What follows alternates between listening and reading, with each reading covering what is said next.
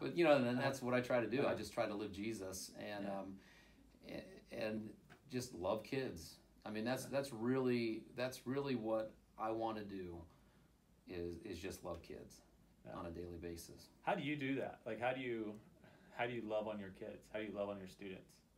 Well, back in the old days, you know, pre-COVID, when, when you you know the old days in the classroom, um, I and I'm still trying to figure out how we're going to do this here in this new era of teaching. You know, we're trailblazers right now, heading into this new era. But I just I establish relationships with them.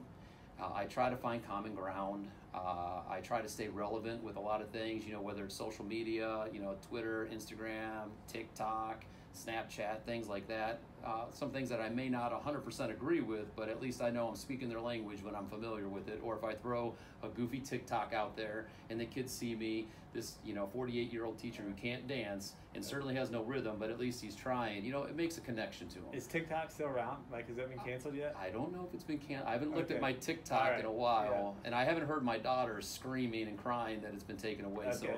um, the, I think the Microsoft deal is still being negotiated All or right, yeah. something. But, but you know, maintaining relevance, taking time to listen, and just talking to kids, uh, and letting them know that I'm there for them. I mean, even simple gestures, which I've got to figure out how to do this, but. Uh, I met. I just met with a young man uh, for coffee, and one of the reasons we have coffee together is because back when I had him, he would come into my room and have coffee with me, right? And I would have a snack there, and then we'd sit there and shoot the breeze, and we would talk about anything and everything. Uh, and then he took my class, and and you know he worked really really hard in the class and did really really well. Uh, but you know I established this relationship, and here it is, a couple years after he's graduated, we're still continuing that relationship. Uh, and it's because I want the kids to know that I care about them, and that I love them, and that I have an open door policy Mhm. little history phrase there for Yeah. you as a history teacher, Yeah. but I have this open door policy that you can come into my room in real life or even virtually now, you know, shoot me a Google Meet message and say, hey, let's meet up on Google Meet so we can talk and, uh, and, and uh, you know, just let them know that I'm there for them. And I'm their advocate. Uh, and as a result, I think the love of Christ shines through.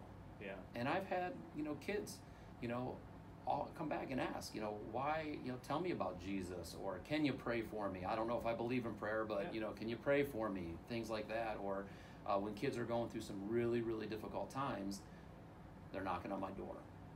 And, it, and it's because of the love of Christ. It's because of the work that He's doing in me that I'm able to to uh, do a good work in what I'm doing. And of course, I've my bad days too, but you know,